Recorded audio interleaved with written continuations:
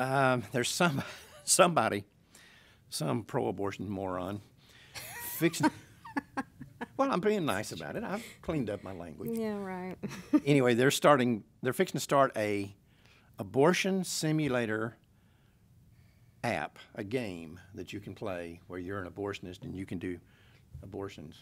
I know. You know, I, I kind of think they did this just to get the pro-lifers and um, Fired up. fired up. I really do because because a while back Apple wouldn't even approve a fart app. So they're saying that Apple is unlikely going to push this abortion simulator through.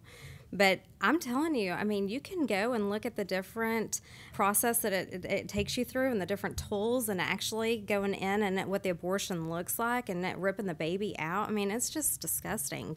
Yep. It is sick. Well, these people are sick. I know.